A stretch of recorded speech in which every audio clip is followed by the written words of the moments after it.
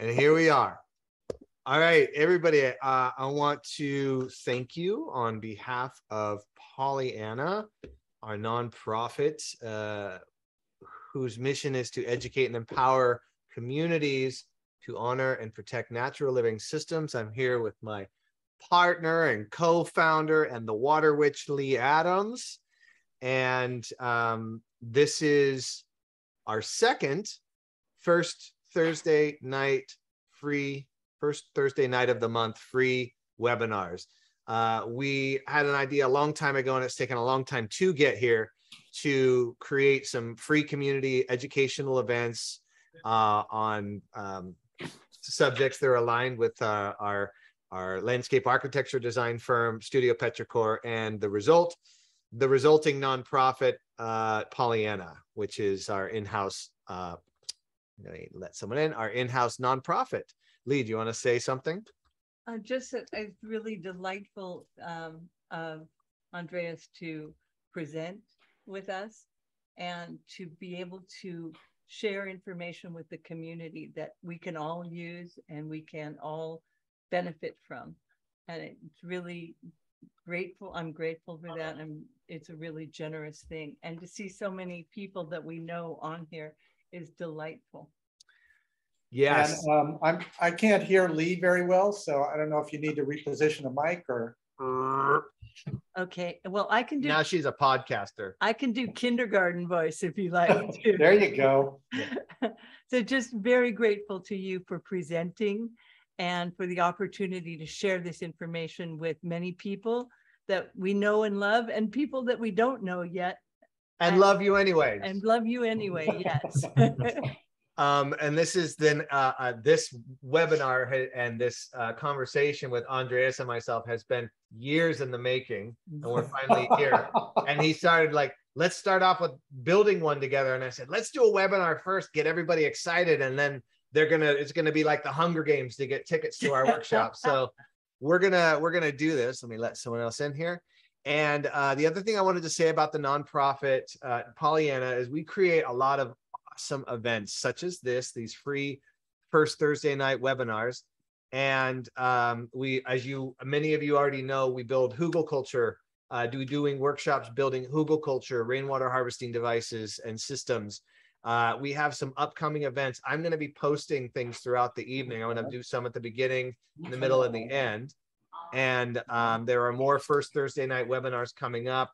I'll be posting our website in the chat. And most importantly, with the acknowledgement that this is a free um, to the public event, uh, and we are a small and growing nonprofit. And if you feel like you want to donate $5 or $5,000, I'm going to put the link in the chat box. And if you want to donate a little bit of money, we'd really appreciate it. There's no pressure, um, but do it. Um, just kidding. Um, and um, I think oh, oh, everybody, I'm going to ask you to mute yourself while the talk is going on. If we hear any background noise, we'll likely mute you. Mute you. We are recording right now. And uh, we did the intro and uh, we are going to do questions and answers at the end. But if questions come up or you want to chat and say something in the chat box that Andreas will not be looking at, but will be looking at, feel free to use the chat box. I'm not really going to use the question and answers option. But uh, if you if you want to chat directly with me, I'll be watching the, the chat box. And um, yeah, I think uh, I think we're ready to get started. I'm gonna I'm gonna add this to the chat box really quickly. So you could be looking ahead who we are and what we're doing and why we're doing it. I don't know why it's coming in and out. Andreas, you ready to share? Your, are you ready to share your screen and take it away? Uh, I'm ready to share. Okay. So audio's good. We hear you. Does everybody else hear loud and clear? Yep. Okay. Thank you.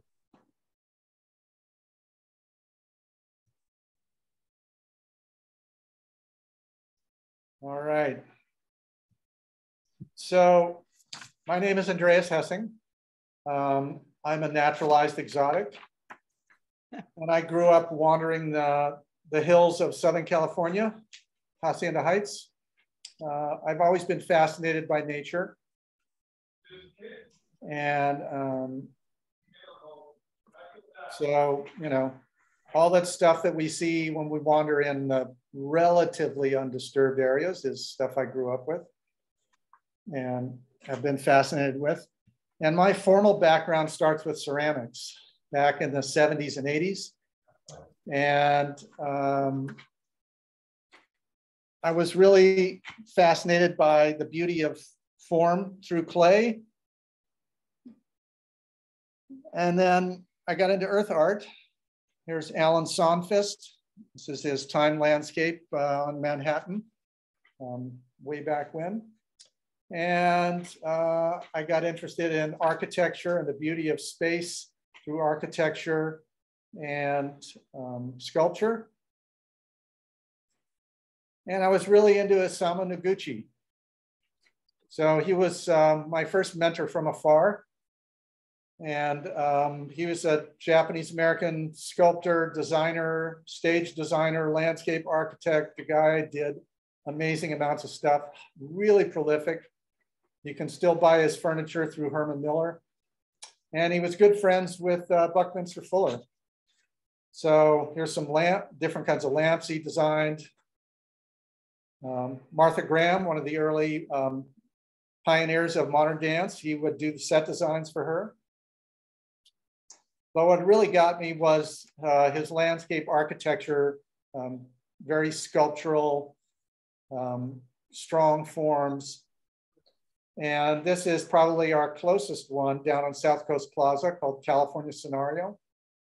And uh, in the late 80s, uh, when this opened, I got to go down there and meet him and check this place out. It was pretty cool, pretty magical. Um, and so then I eventually started moving from fired clay objects to earth objects. And I started with, you know, vessel forms and started moving into more architectural forms. And these are all kind of riffs on uh, traditional Japanese tea house windows. So what you're looking at is a, um, a wattle and daub construction, and this is the wattle that they left exposed to create a window. And these are just riffs on that kind of thing. So they started getting more complex. And then they started getting bigger and I started incorporating seeds into them. And always they were about the form and then breaking down and turning into something else. And then that started to change and move into environments. And, um, and I was always fascinated by found materials. So I would collect or make um, parts that didn't, you know, that I didn't have already and cobble them together to make the different things. Um, this was a bunch of objects that I pulled out of a river cleanup, turned into a fountain. And since 91, I've been basically doing um, uh, architectural and environmental installations that um, focus on uh, regional land use issues and in particular water. And so th this was my first attempt at uh, handmade architecture and, and earth walls, and uh, it failed. And so uh, the walls in the back here are all paper, but the walls in the front here were originally all soil.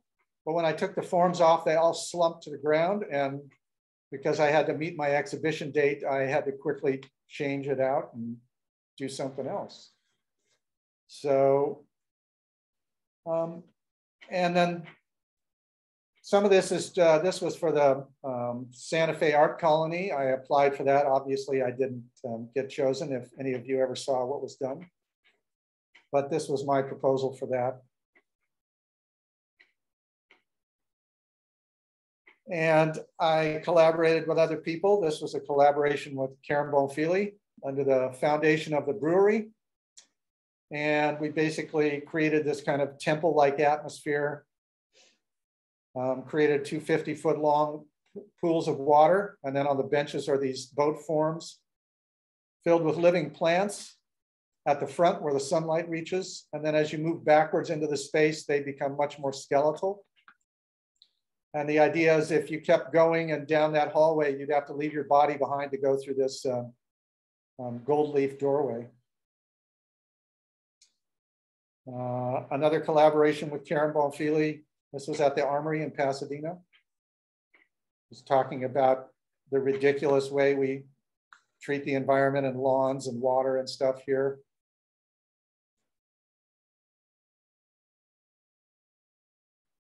And there's a little topo map embedded in the top of the table there. A little ephedra for this place setting. And then the rest of these are all um, smaller scale things that um, um, all incorporate moving water. Here we have a map of California carved into the drywall. Uh, the T-ball waters the rushes. And um, spherical ice balls were put on top of the augers to water the plants down below. And then some larger scale environments. This was uh, the first annual Arroyo Fest. And this was a, a, water cleanup proposal that I did with the artist Catherine Miller. And um, so there's a series of arcs here. The one in, in the foreground you can't really see. There's an arc here that stops the floating trash. There's an arc with limestone that neutralizes heavy metals. And then three more that um, um, have water um, water plants in them whose root zones create the habitat for the microorganisms that actually clean the water. And this was a really fun project. And um, one of the other cool things was they closed off the 110 freeway and you could ride your bike on it. So it would be nice to recycle that again someday if we could. Uh, a piece that was done in Cajamarca about transpiration and so there's a little tag here that talked about transpiration and had this um, image of stomata and stuff. And then you'd pull that string and it would dump water on you. And then getting into larger scale um, public art projects. So this is a project up in the hills above Whittier, the outdoor classroom that um, we'll see more images on. And all of those efforts um, led to my landscape design and build practice, Scrub Jay. And this is that same garden you just saw. Uh, and this is a series of terraces that we created um, from the soil on the site.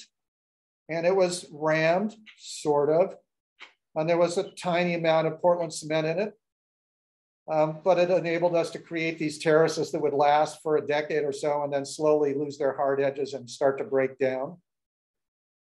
And it was all focused around this tree that fell over. And then, of course, all the wildflowers were first. And there's this lovely Eriogonum mole here that uh, lasted for a number of years and then just suddenly died. And it was replaced with uh, Salvia desperado. And that's basically what the garden looks like today. So that's who I am. That's where I come from. Andreas, I know I'm breaking the cardinal rule of asking questions too early. Can you remind me of what street that was on? Because anybody could drive by and see that, right? That's on Eldora Road. Eldora? Eldora. Eldora. E-L-D-O-R-A. And so um, now I'd like to talk a little bit about some history of alternative, so-called alternative building and to kind of, you know, anchor where Rammed Earth is in this. So um, many of the techniques that we talk about these days of alternative building are just traditional ways of building that have been around for centuries, if not thousands of years. So, and there, you know, people and cultures all over the world have figured this stuff out. It's, it's nothing new, whether it's, you know, a Saudi half buried in the ground or something made out of woven bamboo or originally animal skins, you know, simple, everyday materials that people always used everywhere in the world and still use everywhere in the world. And then all changed once we started depending on fossil fuels, of course. And we had opportunities to use other materials and to not pay attention to the environment. So this is Long Beach. back in the day. They're moving that house out of there so they put more derricks in. So when it comes to earth building, A is for Adobe. And here's a lovely uh, oven right here in the foreground. Uh, here's a contemporary adobe down in San Marcos, northern San Diego County, uh, made from soil on the site by the homeowner. And this, we're um, looking basically from the uh, southeast, this, so this is the southern face of the building, but you can see how big these eaves are. There's no shadow, and this photo was taken in August. Um, there's no shadow on the wall. I mean, there's no light on the wall. So it's really protected from the sun. And then they've got this beautiful Quercus agrifolia on the western exposure. And like somebody said earlier before we started, um, when you go inside this building, it's mid 60s and it doesn't matter what time of year it is, whether it's cold or hot outside. It's really lovely inside, very pleasant. So Adobe. Uh, B is for straw bale. Um, and here's a straw bale building under construction. And It looks like they're starting to um, do an earth plaster on it. Uh, here's one with a living roof. Uh, C is for um, cob.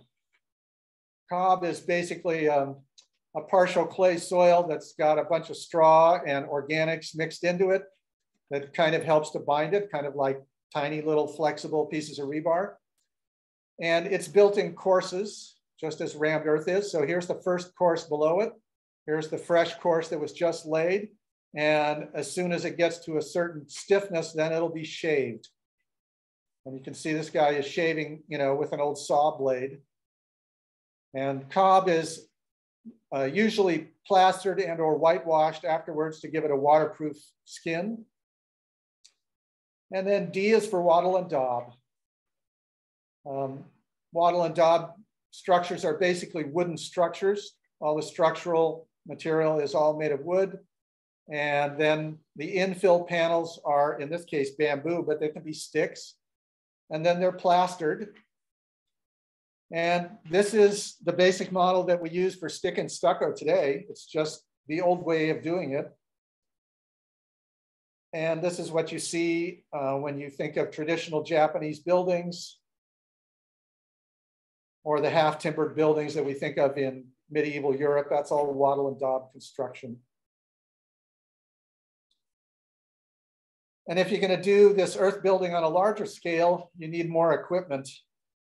And so this is a project that was done by the Claremont Environmental Design Group um, out by um, California Botanic Garden, but this was back when it was Rasbag. And this is the parent soil in the back here. And you can see there's all kinds of big cobbles and boulders in it. And it's being sifted with the help of the tractor and this man's back um, into its the parts that they're going to be useful for them.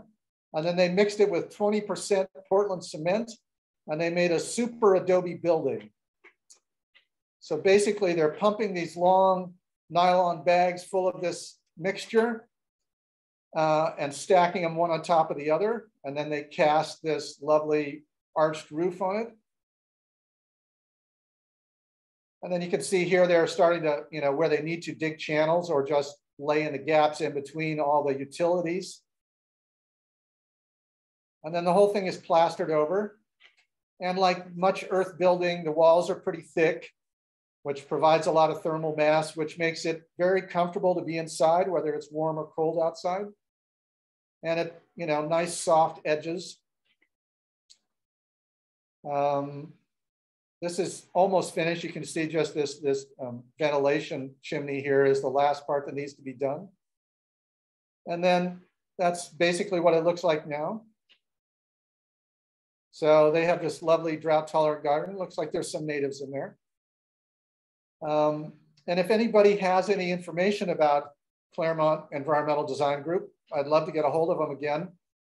Um, I cannot find a website or a direct way to get all, I just see Yelp and LinkedIn and all that other garbage.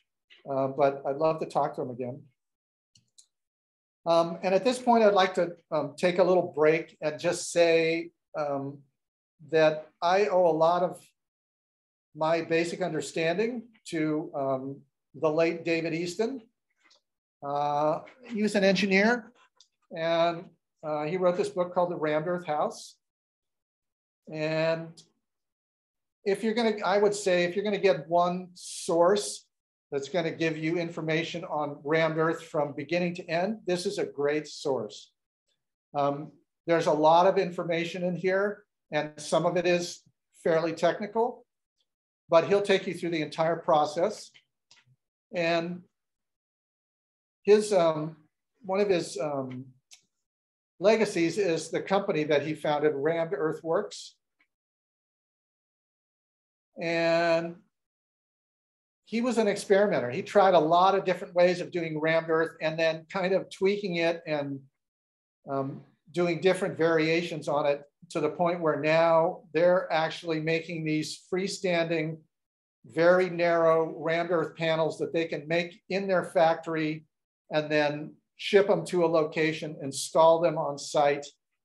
Um, and they're not the structural part of the building anymore. They're just this beautiful facade that they can do anything with. And then an outgrowth of that was uh, another company called Watershed Materials.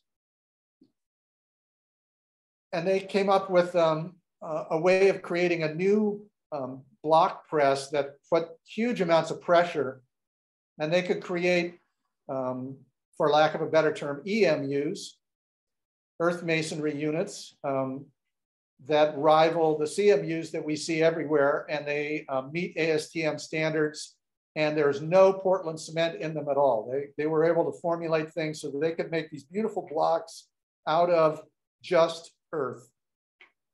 Um, so check out those two places, and now we move on to history. So rammed earth is a really ancient building method, thousands of years old. And like I said before, cultures all around the world have figured this out. Um, this is uh, part of the Great Wall of China, supposedly a section that has never been um, restored. And you can see the telltale horizontal bands of rammed earth as it slowly weathers. Uh, and um, also in China, they have these, um, these big clan housing developments. So probably mom and dad lived here and then the children built this one and the grandchildren and etc. And these are huge structures. And you can see they have these huge overhanging eaves to protect the soil from weathering and also, you know, allow you to walk out of the rain when it's heavily raining. And and for me, one of the most fascinating things is just, whoopsie, come back, um, is how the material weathers. And so since these buildings are gonna last for centuries, as they slowly weather, they just become these giant rock faces, right? So here's an old, um, old building in France. They did a lot of rammed earth in France over the centuries. Some of those old chateaus are there. Um, here's a bad fuzzy photo of a contemporary building in France. And again, you can see those um, telltale horizontal bands of the signature of rammed earth. But this has been done everywhere in the world. So, you know, every culture who's decided to big, make earth has figured out one way or another to do this. So, and look at all that beautiful detailing at the top. And um, the Great Mosque in Mali. So there's your little history lesson. We're going to move on to forming. So this was my first successful earth wall.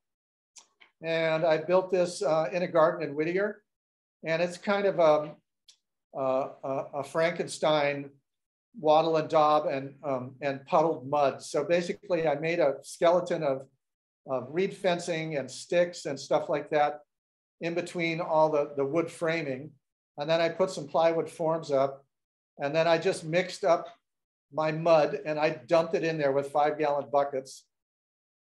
And because I was gun shy after my first walls failing, On this one, I left those forms on for probably six weeks and I would carefully like peek under there every couple of weeks to see was it dry. And once it was, I ended up with this lovely earthen wall. It looks like some old ruin in, in somebody's garden. And so from here forward, I'm going to show you a, um, a series of humble, low little terraces and walls, um, partially because I have yet to make a building, but also um, I think they show the process nicely. So this was a garden that I did in North Hollywood.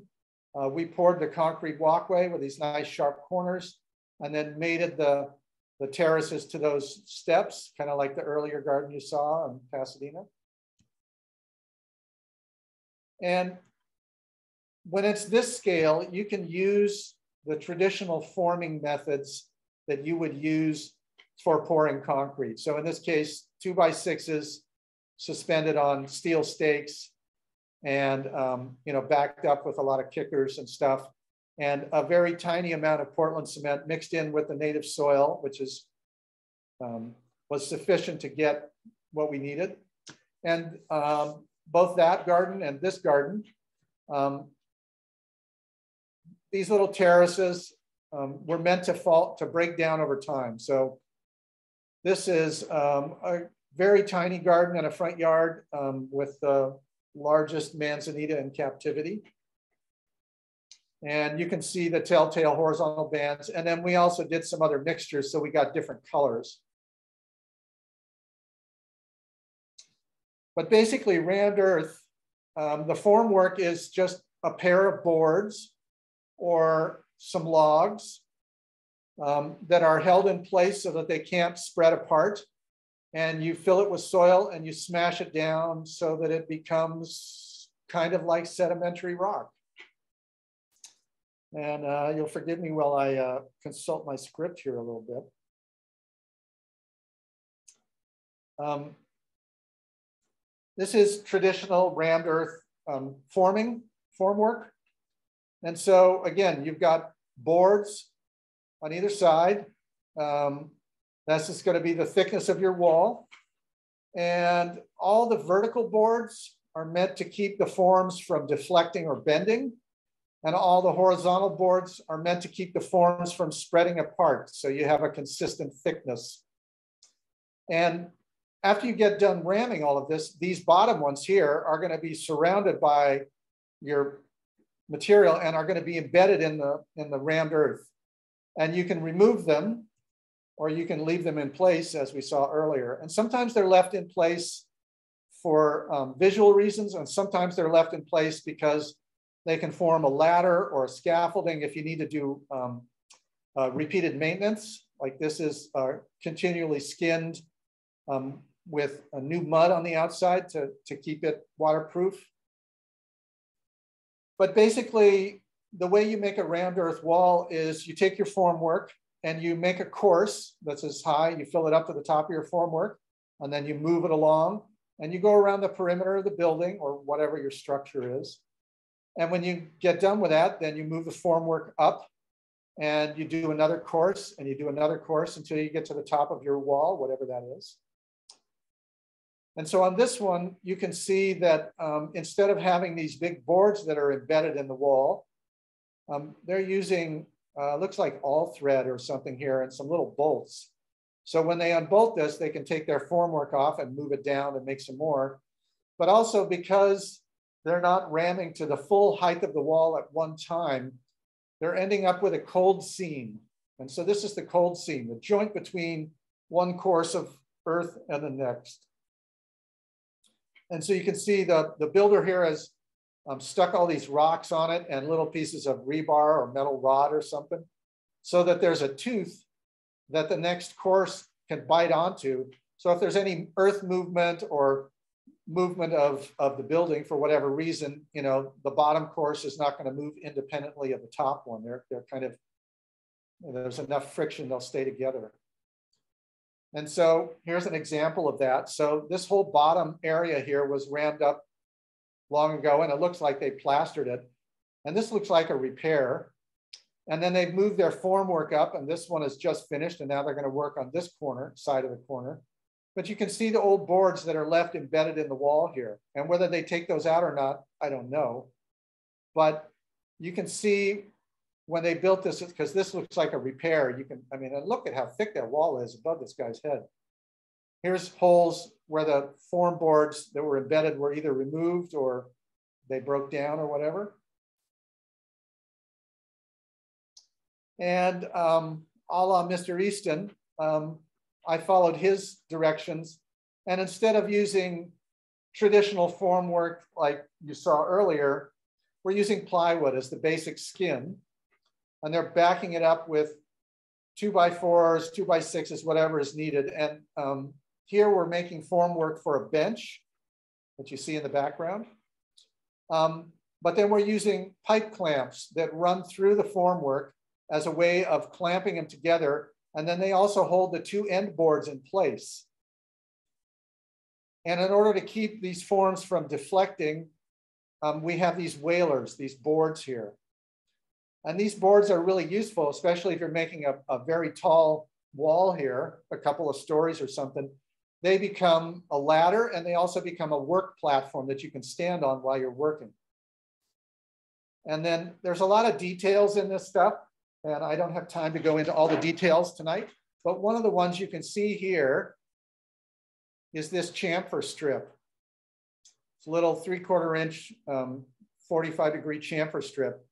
And, and it's around all edges. And you can see we put some two by material on here so that when we're ramming, we don't accidentally hit our strip and destroy it. And in this case, if you're gonna make voids, so we are making a bench, so we have a seat in the back, you ram up to the top of the seat, you put a box in, and then you ram up to the back. And uh, obviously this box is not the one that was used because it's much smaller than the finished thing. But here's the real thing. So this is that same formwork in place while we were building. Here's the box that's taking up that space for the seat. And here's the top of the back. And you can see the pipe clamps going through. Um, and then there's uh, these really important little wedges here. And they keep the pipe clamps from getting uh, deflected and getting trapped so that you can take your uh, end boards off when you take all of this apart. Um, and then once you're done, you take the forms off and it's done. You don't have to plaster it. You don't have to paint it. You don't have to do anything. The, the structure is complete. And rammed earth is very strong. And as soon as the forms come off, you can start loading it with weight.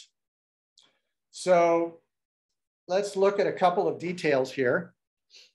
Uh, and one of those is this little lip at the bottom, right? So this is a quarter inch, I mean a three quarter inch thick lip.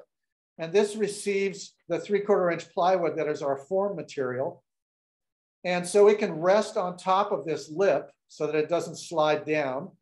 And then it can we can clamp against the face here so that um, when you're ramming the material, it can't get between your foundation and your board and start to change the form of it. So that these little details like this are really important. And then the other thing you can see in this image is that we tried two different ways of ramming, um, two different tools um, when we did this. So we rammed from the foundation to the seat level with pneumatic rammers, and we rammed from the seat level up to the back with hand rammers. And it's obvious that when you're when we use the pneumatic rammers, um, we get less of that banding. And where we use the hand rammers, you can see those horizontal layers much clearer. And then there's those chamfer strips that created these beveled edges around all the corners. And that's, again, here's that lip. Those chamfered uh, edges are really important so that you don't have sharp corners that are gonna break off um, when you take the formwork off or when it's being lived with or whatever, and, and a potentially crack out a big chunk and, you know, or, you know, if you run into it with your hip, it doesn't hurt like hell. So all those little things become important. And then in this one, since this was a test, um, we started experimenting with different kinds of sands and embedding seashells and attacking it with a hammer and chisel right after taking off the formwork to see what we could do with textures. and this is, uh, that was a test for this amphitheater that's built uh, in the hills above Whittier. And so here's our little um, omega shape chalked out on the ground. And after our um, foundation was poured and we're taking the form work off the foundations. And again, there's some details in here that are very important. So here's our little lip again to put our, and it runs all the way around all sides of this formwork. I mean, this uh, foundation. And then there's this keyway that runs through the center. And you can see we've taken out the, the boards all the way up to this point in this photo. And this allows us to lock the rammed earth into the foundation so it cannot move away from it. It can't, you know, if there's an earthquake or anything, this thing will just sit there and not go anywhere. And this is a deceptive perspective here because the distance from here to here is actually three feet. This is 18 inches wide here. And there's your finished wall. And this is meant as an outdoor classroom um, at the trailhead and the, up in the Whittier Hills. And you can see our banding, um, areas where we, you know, change the formulation um, to get, you know, kind of that, that sedimentary look. Um, but one of the things that's, if you look carefully, you'll see that this block here, this block here, don't have holes in it where the pipe clamps go through. So here you can see the holes where the pipe clamps go through, and you can see the same on this one. And this one, they were um, uh, filled up already. So you take the same mixture we were using to make the big blocks, and then we use dowels and things after we take the pipes out and fill those holes. But this was made by making this block, and then this one, and then this one, and this one, and that one. And then we came back and filled in the spaces in between.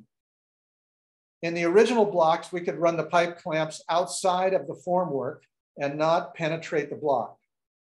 But after that, because we're filling in the space, now we have to penetrate the block. So now the pipe clamps have to go through the blocks themselves. All right, so, and then it was waterproofed. Uh, and this was, we were working with the city of Whittier and they were, um, they were very afraid of rammed earth. They knew nothing about it. Um, they, they made us take, jump through all kinds of hoops. Um, but one of the ones that we were going to do anyway is waterproofing. So this is our waterproofing membrane painted on the outside. And see, we carefully um, extended past the seam of the foundation. So um, no water can penetrate between the foundation and the rammed earth. And then just to be super extra careful, we squirted a little Henry's wherever a pipe went through the formwork. And then we had to spray a graffiti coating, a clear coating on the outside. And then we backfilled. And then we planted. And then that's our, our finished little amphitheater there. And uh, these guys are continuing, uh, this was all a restoration planting. So plants were, um, um, cuttings and seed were collected within a radius of the space and then uh, grown out and then planted in here. And so the ranger can stand here and talk in a normal voice and explain what they're going to do on the hike, where they're going to go, all that kind of stuff.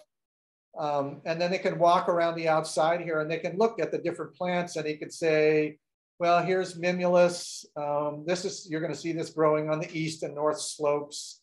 Here's Artemisia californica. You're going to see this growing in the full sun. Here's laurel sumac, et cetera, et cetera. And uh, this holds about uh, 50 adults, excuse me, or 100 children. And uh, one of the fun things we discovered after building it is you can stand here and talk in a normal voice and your echo will come back to you from this form. So that was fun. And we embedded shells in it um, and changed the texture a little. We, we took, took away some of the um, smooth surface and just kind of did a little exposing of some of the selected shell stuff. And then you can see some of the color changing here from the iron oxide and stuff we added to the mix at certain points. Um, a wall that was built for um, California Botanic Garden or RASBAG before to uh, house cliff dwelling plants. So, and you can see this is pretty early on. So the, the colored portions are pretty garish still, but we embedded rocks in it, created voids to plant the plants in. There's one of those gorgeous Eriogonum ovalifoliums growing out of the little crack there. So now we're going to move on to another project. And like the previous one, starting with your foundation, and in this case, again, it's concrete, but traditionally rammed earth is not done with concrete foundations because, you know, up until we get to about Roman times, um, people didn't make concrete. Um, often rammed earth buildings were just built, you know, below grade.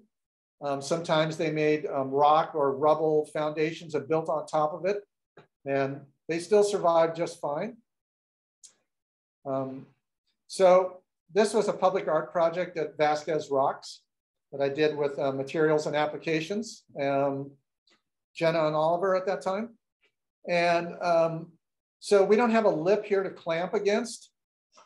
So we had to do a little um, thought. And so here was our cheesy little um, conceptual model of how the formwork is going to go. Um, and I particularly like the little cardboard wedges. Those are fun. And so um, we added stainless steel studs. We drilled and epoxied them in so we could clamp our formwork to the outside of the foundation. And then we started building our formwork. And uh, we build it, clamp it up, um, put the nuts and bolts on and washers on. And there's our completed box. And in this case, um, because it's so broad, and um, it, once we put um, the pipe clamps on here, it's going to start to tweak things. We put these spacers in just to hold it apart and to keep the, the walls plumb. And then we put in our pipe clamps and put all our flags on because this is a, a, an official construction site with permitted contractors and inspectors and all of the above. And we had to put, whoops, sorry about that. We had to put um, uh, this diagonal bracing in to, to keep these um, walers up in the air because there's gonna be a lot of people swarming over this. Uh, most of them are not contractors because this was a community project.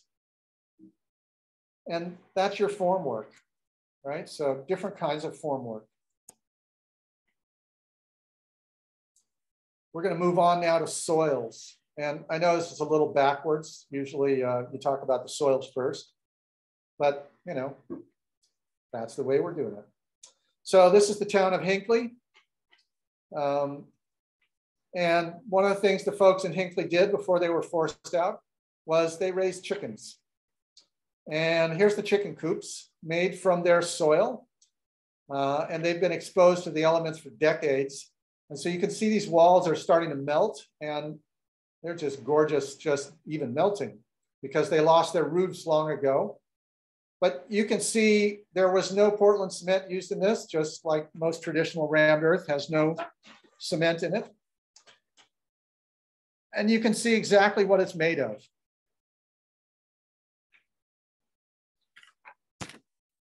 And so to quote um, Mr. Easton, to be compacted into a strong and durable rammed earth wall, a soil should be well-graded blend of different sized particles. Large sand and small gravel provide the bulk of the matrix. Smaller sand particles and silt fill the voids. Clay provides the glue. And so that's what we're looking at. So here's our small gravel. Here's our large sand. And then the smaller gravel and the silt is filling all the spaces in between. And then here's our clay, right? And so um, you can see on the bottom of this piece of gravel that's been exposed here, there's this kind of scummy skin on it. And over here, you can see it's actually cracked, but the clay itself becomes a colloid because of the small amount of water you add to it and the ramming process itself. And what it does is just by doing that, um, it surrounds every particle with this thin film of clay, and that's what cements everything together. So the compaction process and the clay together are what cements the rammed earth wall into a nice, solid, stable mass. And you can see here they embedded wire in it, and there's even a bigger rock. It's probably about the size of your fist. But you know, even as it breaks down, it's just this beautiful stuff. It's just, it's the earth itself. So if your soils look like this, and they produce crops like this, that's not a good soil to build with. No organics allowed. But if your soil looks like this, then you can turn it into something that approaches the parent rock. And so here's your basic formula. Excuse me. So 70% sand and gravel, 30% clay and silt. And so what that tells us is that just about the maximum amount of clay you want is 15%. And actually a little less is better. If you have too much clay, it's gonna absorb and release water and that wall is gonna expand and contract and eventually tear itself apart. And so the earth builders around the world long ago figured out, and then the more recent ones like Easton and, and many of the other people who started the revival here in the United States back in the 70s, um, examined walls all around the world. And this is the basic formula for successful, stable, long lasting rammed earth walls. Now there's a little bit more to it than that, but that's your basics. So if we look at the particles that make up that wall or that structure. And we scale them up to make it something that's, you know, understandable. If a grain of sand is the size of a barrel or a 55 gallon drum, then a grain of silt is the size of a dinner plate and a particle of clay is the size of a coin. And on the other end of that, the large gravel is going to be the size of an automobile. So the clay is so tiny that it can surround everything easily when it's in a colloid state. And remember, clay particles are little plates. They're like little square plates and they're stacked up next to each other. And they have an electrical charge. So they can actually chemically bond to other materials, whereas none of these other things have an electrical charge. That's also why pottery can work the way it does. So the first thing we want to do is get a sample of our soil. And in this case, we already did a basic jar test, filling up the soil, uh, filling up a mason jar with three quarters of soil and adding water and then letting it sit to see if we get any sedimentary layers. And that and some other basic field tests tell us that it looks like the soil might be suitable. So then we start doing some other basic testing. So here's all our test blocks lined up here, and there's some more behind there, and some screens, our wheelbarrows, etc. And so we're going to start taking this pile of soil and we're going to break it down by sifting it through one size screen and then a finer screen and finer screens until we break it into its constituent parts. So this is our largest gravel, probably a little too big for our wall. And the next size down, it's a maybe. This is definitely a good size. And here's our large sand. And the last pile we end up with is clay and silt. And we don't really know yet how much clay and how much silt.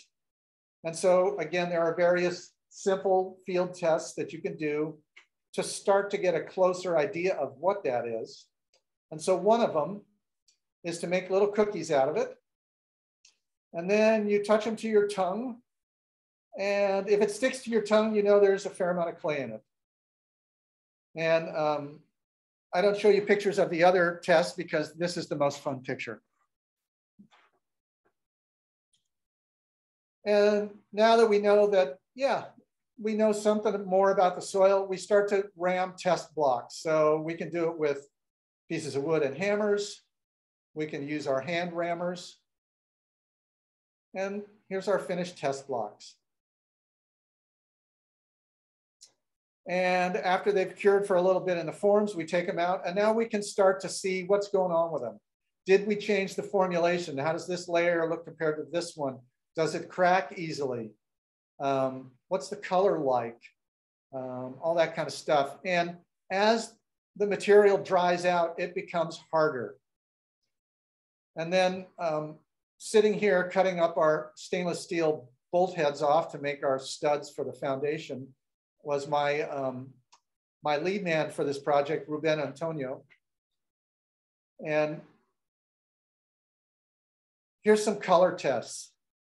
This was actually for that um, rammed earth amphitheater, but there are um, a whole bunch of different colors of, um, what do you call it? Iron oxides that you can add that are meant to be added to concrete to color it. And then also chemicals that uh, we can borrow from ceramics production to color things. And in this case, um, we were trying to match this piece of rock. So um, obviously our red was a little too garish and this one was a little too orange and this one is pretty close and that one's pretty close. And so that's your little soil section.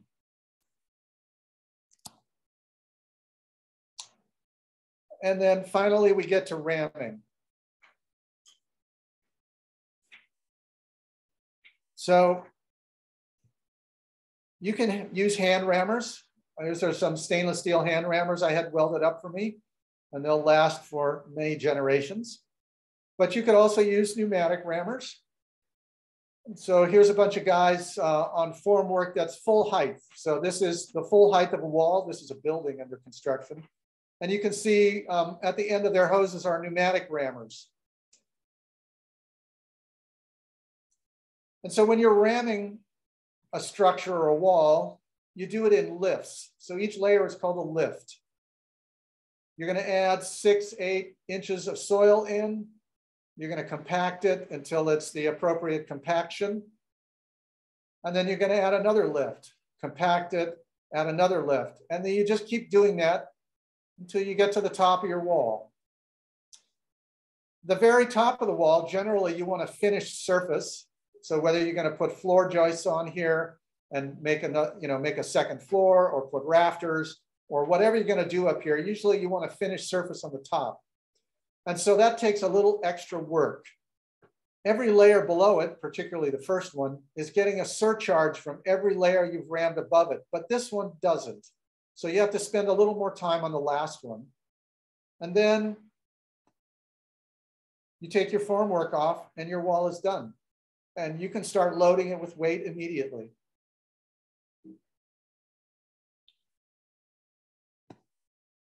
So this is the ramming process for that Vasquez Rocks project.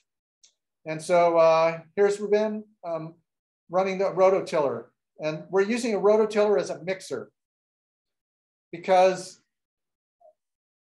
we want to mix all the particles together with the small amount of water we use very thoroughly. And if you use a cement mixer, um, what happens is it um, the water doesn't get distributed evenly and you end up with a weaker wall. Um, if you add Portland cement to it, you'll find that the Portland cement surrounds a particle or a small group of particles and makes little balls. And so your finished wall ends up looking like styrofoam. So because it has cement in it, it's strong enough that it's not going to come apart, but it doesn't develop the kind of strength that a rammed earth wall would develop without Portland cement if you mixed it better. So the mixing part is super important and usually the bottleneck on your ramming process. So we have our pile of material, we spray it with some water, we run the rototiller through it a few times, and then there's a bunch of guys around the outside and they're just pulling the material back into the center. So you can take some more passes, spray some more water, and really thoroughly mix all this stuff together. So this is very similar to uh, making a pastry. just on a large scale. So the rototiller is more like using a fork or a pastry knife to blend the butter into the flour mixture rather than trying to put it into a, you know, a, a bowl mixer or something like that. So very effective for these smaller scale projects. Then you deliver that mix to the formwork. And you can see rammed earth is a pretty physical process. It's very satisfying, but you know, you're gonna get a workout. And then because we're dealing with a community project, there's a lot of people involved that were not builders, and even those that were probably didn't know rammed earth. We had to put in these markers here that said, you know, fill up to the line, and then the rammers can go to work. And so these three are making their second pass around the material. And you can see it creates this trough here when the material is really soft when you first throw it in. Um, when you hit it with the rammer, it, it, you know, it smashes down pretty quickly. So you make a very methodical circuit all the way around. Then you do another one all the way around. You keep doing these concentric rings until you've finished in the middle, and then you start on the outside again. And you keep doing that until it's rammed to the appropriate density. And that appropriate density, you have to learn. So if you've never done it before, you need practice or you need someone who knows how to tell you, you know, how to do it, when to stop. And so we keep adding uh, lifts and you can see here at this point, this layer, this lift has been rammed enough that when they hit it, it doesn't make very deep of a trough anymore. And the nice thing about the hand rammers is that they're heavy enough that if you just lift it up and let the weight of the rammer do the work, you don't have to use a lot of muscle. It takes a good grip, but you don't have to be super strong. You just have to be able to do it over and over. And so this is the finished point of one lift. And you can see the dents in the ground. So this is the outline of that square pad on the bottom of the rammer. And you can see it's, it's a little rough. And in this case, um, the different layers were meant to break down at different time periods. And people were um, uh, embedding objects in it. And so for some, it was a celebration. For some, it was a memorial.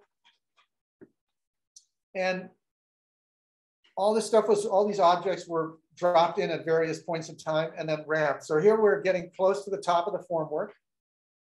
And you can see, you know, it's a relatively rough surface, but it's not complete yet. And at the very end, to give ourselves a finished surface and to give a little bit more oomph to that top layer, we use these blocks and hammers. And the blocks are just continually moving while you tap, tap, tap with your hammer. And you get out all the imperfections in the surface and you make sure you compact that top surface. So you can see that it's hard enough now that we can walk on there with our bodies and not leave impressions in the, in the, in the mix here. And then you take the forms off and you're done. Um, and here we are um, cutting off all these um, uh, stainless steel studs. Fergus. You take care of him? And then over time, it starts to break down and the plants start growing. And uh, the material we ram starts to resemble uh, the native rock in the area. And when this finally breaks down all the way, what will be left is this concrete foundation. And then there's actually a bronze sculpture that's bolted to it that's underneath all these layers that we don't know what it is yet. And the final project I'm going to show you is um, a project that was done in the Hollywood Hills up near the sign. And um, this was a, um, a completed patio space.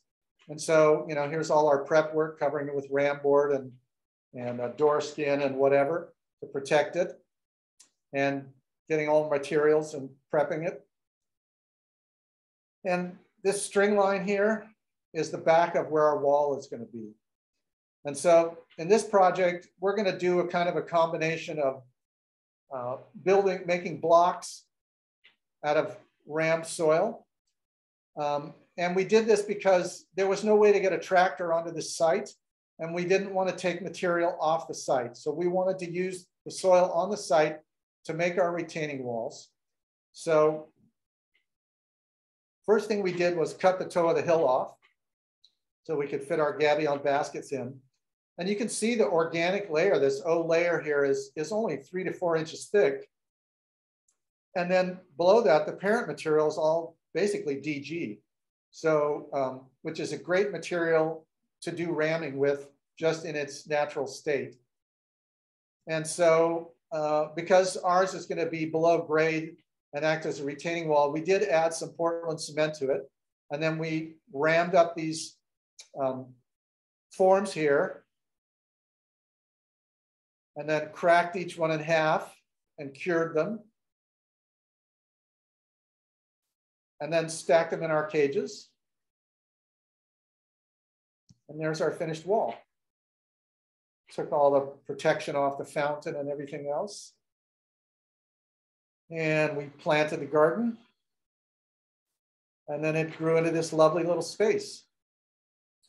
And so part of the program of this was um, the, uh, the owner wanted us to riff off this little broken concrete retaining wall he had made over here. And so that's why we came up with this solution. And it was a really nice space to be in. I think Sean saw this once. I actually did some work at the garden just on the other side of that fence. And Tom, this is just down the street from the clients at the top of Beachwood Canyon that we worked on together. And this client ended up selling this house and got a new mid-century modern that I'm now um, engaged in working on their garden. Sweet. So um, that's the end of the presentation here. And um, I thank you for uh, putting up with me. Um, should I stop the share or what do you want to do? Yeah, stop the share and um, uh, let's see, how do you, you celebrate? And uh, clap our hands and thank you Yeah. so much for that. Um, there we go. I'm gonna do it, whatever that is. Someone wants to know somebody's opinion on Michael Heizer's new uh, piece that was just unveiled in out in Nevada. That's funny. what do you know about that? Oh, I, you know, just what everybody else knows. It's been in production for what, 40 years now? and uh, you know, it's his, it's his, uh, it's his version of pyramids and and Yeah. huge scale earthworks. Um, love to see it. Um, I know there's uh, lots of people who feel like you know it's a waste of time and a horrible environmental degradation, and and it might be those things. I haven't been there, so I don't know. Um, but you know, he wants to be like the kings of old and build giant structures. Oh. Well, Andreas, uh, this this is. Uh, I mean, I've been curious about this for years, and like I said, it's been it's taken us this long to get together, and we live right around the corner from one another. so I think it's time we start hanging out. No matter what, let's Right? start hanging out I agree. and going on hikes and and doing some plant nerding stuff together. Um, I'd like to open up the the floor to uh, asking questions. I know that there must be a lot ruminating in your heads. I did add um, Andreas's website and uh, email address here if you want to reach out to him directly. And uh, I also added uh, Poly/Ana's uh, information as well, just in case you missed it earlier. Um, we are uh, uh, accepting donations for more events like this to fundraise to create more accessible, approachable, uh, educational workshops for communities. So, um, and please know that by clicking on you know, any of these, you can copy and paste the donate, but down at the bottom there are more upcoming events. And there are a lot of good ones coming up. And we have a few, uh, we've got more coming uh, in the winter. So, um, with that said, I'd love to open up the floor for questions. Uh, I suppose you could either raise your hand or just unmute and ask questions.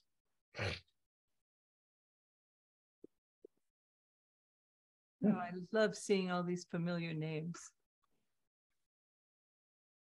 Well, if no one's going to jump to it, I have a question. Do Okay. you always use a concrete foundation? Um, you don't have to. Um, those smaller terraces and stuff, none of those had foundations. Yeah. And traditional rammed earth, you know, that's been done over the centuries mostly doesn't have a foundation. Yeah. But um, sometimes they do have rubble foundations or rock or things like that. Okay. But many of them are just um, the wall itself goes below grade and they seem to hold up. So, right. um, So in getting that perfect recipe, that perfect well-graded mix of 70% sand and gravel and 30% clay and silt, um, you mentioned earlier the jar test. Is that your way of, of testing it? Well, Or do you, do you ever yeah. send it in to like Wallace Labs and does that tell you anything? Well, um, you start out with field tests like the jar test, and you and you get some basic information about, you know, is this useful at all in the beginning? And and so you go through a number of those simple field tests, and then if you want to go further, if you're actually going to build a building or something that requires, you know, a structure that um, you have to depend upon, especially if you're going to, you know, get permits and okays by municipal authorities then you take your material to labs and you do compression tests and all those other kinds of things. But you don't start there. You start with a simple, I can do it on my own thing. And that gives you a lot of information. So for instance, um, it'll tell you right away, is there organics in my soil? Because it'll float to the top of the water and then you'll know. Um, and just things like that. So does Awesome. that Answer the question? Yeah, absolutely. Anybody else have a question? Because I know I have another one. I do too. Uh, I, I'd like to know if you've taken part uh, in, of any of the testing that's been done at Quail Springs through the Permaculture Institute there? No, I haven't. Okay. So are, what are they building there? Uh, Mostly cob, but there's also rammed earth. Okay, And um, just doing um, all kinds of tests on strength tests, resistance, uh, Right. fire, etc. right. Yeah, I'd love to take a field trip out there, but I haven't been there yet. Oh, yeah, I think you would enjoy that. Also, um, Cal Earth. not- Right. Sorry, not Cal Earth, um, Cal, yes, Cal Earth, Nader Khalili's work. Yeah, I did a workshop with him when I was in school years ago Yeah, on, uh, yeah, those, those are fascinating, a, a little different, but, um, but yes, also earth building. yeah. I, I had a commission on his, um, house up at the Institute, uh, Uh-huh. help, doing the glass work for his. Oh, cool. Um, there's a question in the chat box by Laura. Hi, Laura. Lovely to see you. Um, awesome talk. Two questions. Uh, one, how often do you use earth not from the site itself? Let's answer that first. Um, well, it, you're gonna do a you know, it- wherever you feel like you want to build something, the first thing you're gonna do is do some of those basic field tests and see if your soil is suitable at all. Um, and um, so uh, a number of the things I've done were not suitable. And so um, uh, particularly that um, Earth Amphitheater in Whittier, the, the, the city was so paranoid that uh, I had to make sure that we would use something that um, was gonna work the first time. And so we just um, imported DG. And uh, DG already has that blend of particles if it's if it's decent DG and no organics. And um, it works great on its own. So um, how often, you know, every site is different. Um, and then as far as permits for rammed earth, um, uh, California does have, because of people like Easton and some of the other early, early pioneers, and I say early because, you know, 1970s, even though people have been doing it for centuries. Um, uh, they helped to write um, the, the code for rammed earth and earth building that exists now. So, um, you know, it depends on the municipality. Some of them haven't incorporated those things, but there is statewide code for it at this point, as far as I know. Yeah. Did you answer number two? I thought I just. Yeah, okay, good. I was, I was in another. It happens all the time, right? You were in another place? Uh, yeah, it's very common. Um, so I'm going to ask a question, and I'm actually going to share my screen. Right in our area, my friend, uh, I'd like to uh, engage you in, um, you know, maybe coming over consulting. We could do a jar test together, a couple of tests, but to create this little ceremonial space in this back garden on Mendocino and Okay. creating some of these curved benches. This should be a pretty easy design, but these uh, these curved benches around a, fire pit area, which could also be rammed earth. So Okay. uh, what I'm what I'm getting at here is that are you hire from consulting as well as building? Of course. This could be this could be an awesome community workshop together. So everybody who's here, get on our mailing list. And actually, I'm gonna the mailing list is under Studio Petrichor, which I'll put it in the um Chat. the chat box for you. You'll want to sign up for the newsletter. That's way that's how you'll know about all these awesome events coming up. And we have awesome articles. We have awesome blogs. So um uh Andreas, we've got a, a couple projects where we we'd like to reimagine the seating in uh with local materials. So um Um, how- What's the radius on this, this ring? Oh that's a good question. This is conceptual, so I Oh, can't okay. tell you. So um, I will um, um, offer, um, I have curved formwork already built. Mm. Wow. uh, And it's set up for a 13-foot radius. All right, well, let's see what happens because we're we're looking to like get layers in here. So this is conceptual. The construction documents are construction documents are underway. Okay. Um, I, I also, um, um, in talking about this to friends, um, I have another person who uh, would like to do some rammed earth in their front yard, so. If we're looking at places to do workshops, Yeah, it sounds like we have a couple already lined up. I think it'd be awesome. Lovely. Yeah. Um, so I just put the newsletter, I, I just put our website address for Studio Petrichor on- in the uh, website to, or sorry, in the chat box to sign up for the newsletter. Like I said, you can always unsubscribe, but trust me, hardly anybody does. Um, So, uh, no questions. uh, Oh, well, there's a. Tom, there he is. I was waiting for him because, you know, this is the man with the plan. I know he's gonna be contacting you at some point. Uh, you're, you're muted. We can't hear you.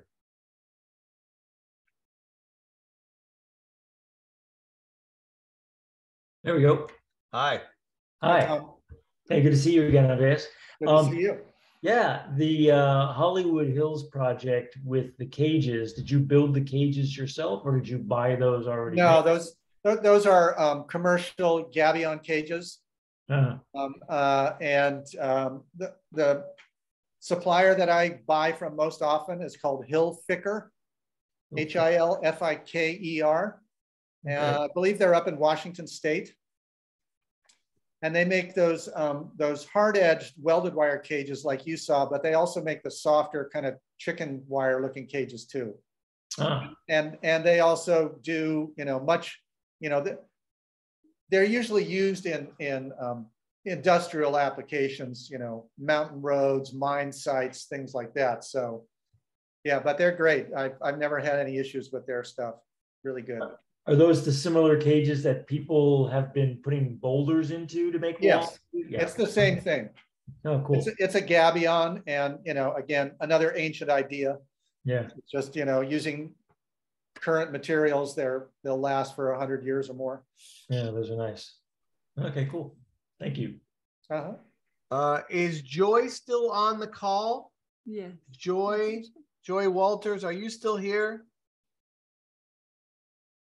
Well, um, she must have signed off. There is an event in, uh, uh, it's Altadena Clean Air Day event, and it's um, somewhere around the the October seventh. But just so you know, they've asked us to uh, walk, do a walk and talk in the Altadena area uh, to talk about clean air, um, native plants, water harvesting, the kind of work that we do at Studio Petrichor and how it all relates to a better environment.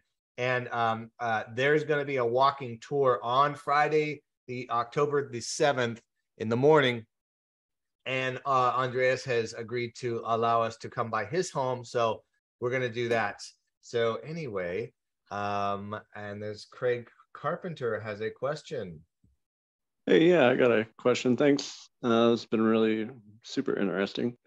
But um, I've got a question about, you know, all across the Southwest, adobe walls around the perimeter of your your little house yard um, were pretty popular, and you know, there's there's places in Tucson or, or parts of the Southwest where it's still done. But is that a solution in your mind for your typical suburban yard fence these days? You know, replacing the the chain link or or block walls or or picket fences everywhere. Like is there a reason that these can't go? Is there things we can put on the top to shed water and and keep them you know a little bit more stable than maybe they did in the past? But is there anything holding us back on reviving adobe adobe um, yard wall? well uh, adobe is different than rammed earth in that um, adobe cannot take you know, it's it's going to because it's not rammed, because it's not compacted. It's just basically, you know, a clay brick. That if it gets water on it for any length of time, it's just going to break down really fast. So if you're going to do an adobe wall, then you're going to have to skin it with uh, stucco or clay or something like that, and or put a roof over it. Otherwise, it's going to break down pretty quickly. So um, there is a yard here um, up on, um, is it Calaveras? Um, that there's an adobe wall and an adobe house um, here in Altadena. And you can see um, at edges, you can see the adobe blocks, but then they also used an earth plaster on the outside of it to protect it from the weather. rammed earth would be a better wall in, in the sense of longevity and durability. But again, if there's no cement in the wall, then you definitely need some kind of a roof on it um, just to protect it. And then it'll last for hundreds of years. Um, as far as replacing, you know, wood fences and block walls, I, other than, you know, the amount of work it takes to make it and whether or not you want a wall that thick, you know, takes up your uh, precious setback space. Um, that's another question. So I don't know. Does that answer your question? Yeah, yeah. I guess I, I was meaning to say having rammed earth replace the the function that Adobe and, Walls had. Yeah. yeah, no, you there's you know, you could do that. And it, would be, I mean, you know, perfectly perfectly useful for that. Again, it's a look. do you want that look? Yeah. So this seems like I mean it, it, it's it's you know if you set it back just a little bit from your sidewalks and your driveway you're you're suddenly creating livable space in there that's just being used as a as a buffer from the public. Yep, definitely. and suddenly yeah private space so. Yeah. Yeah. Get rid of that lawn. Yeah. Thanks. Mm-hmm. thank you. Uh, craig do you want to sign on and ask your question? Yeah, I was. Uh, I'm just impressed that this is uh, this is it, it sticks together so well, and I'm just curious about the moisture and and all these layers appear to be going together at the same time, maybe on the same day, even. Uh, or, yeah, ideally. Yeah, and so really, it's uh, there's not much moisture in this mix, is there? I mean, it's no. It, uh, so the the basic. Can you describe um, it a little bit. Say that again. Can you just describe how you kind of test for moisture again? Well, the, uh, the ancient test, which we still use, is you take your two hands, you take your mix and you make a ball, but compress it as hard as you can in your hands. And if it holds together and it you want it to just hold together, then that's good. And then you're going to drop it from about oh, chest height to the ground. And it should shatter back into its constituents. And that's about the level of moisture you need. So it's pretty dry. It's, it's much drier than people think. So it's not, it's not anywhere close to concrete or even adobe when you're, when, when you're ramming it. Yeah, it's, it's really impressive. it is pretty amazing, isn't it? it's really amazing. And, uh, and yeah, if you're um, the ramming process, the, the actual compacting process goes pretty fast. So um, if you had a good crew who knew what they were doing, and you know, um, and the mixing was going fine, everything was was you know working like clockwork, they could do, you know, 20 or 30 yards in a day. They could Wow. ram. Wow. And so it grows, it goes really fast. So um, that uh, rammed earth amphitheater with um, uh, everybody else, with everybody just figuring it out, um, it took two days to ram that whole thing. Whoa. Wow. Nice. So, you know, it took lo- much longer than that to set up the formwork and to do all the other stuff. Oh, okay. Um, but but the actual ramming process is very fast. Yeah. So, and yes, ideally you ram to the height of your wall or structure all at the same, all on the same day if you can.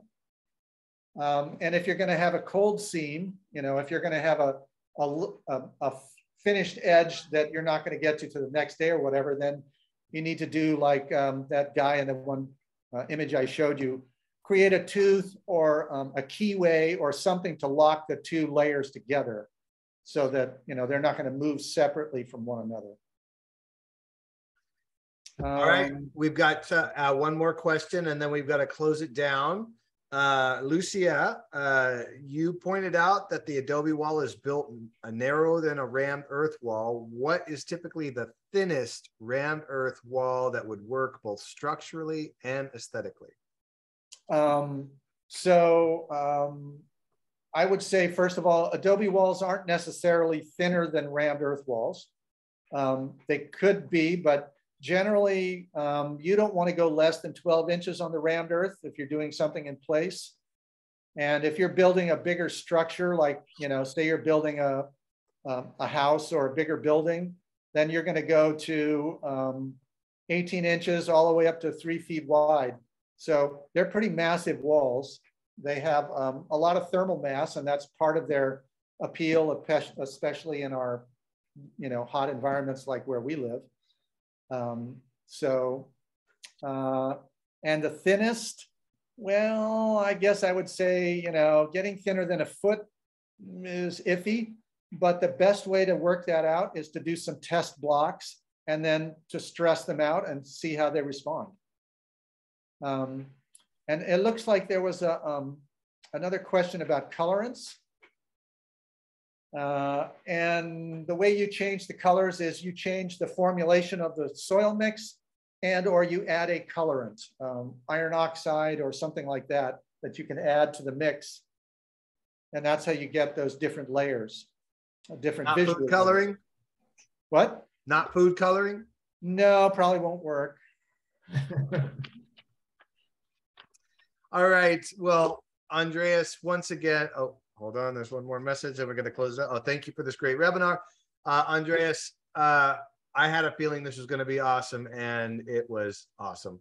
If This well, has been recorded. We are going to uh, put this on our YouTube channel when I get some time. Bear with me. Probably next time, next week. And um, uh, visit our website for the upcoming events and get on our newsletter. There's lots more coming. And definitely stay tuned for the Andreas and Poly/Ana Rammed Earth building event, which is gonna come. Coming to a neighborhood near you. And Thank you. Andreas, I'm gonna be reaching out to you. Let's do something plant nerdy very soon. Okay. Bye, y'all. Bye, everybody. Bye, Have a thank you. Great night. Bye. Right.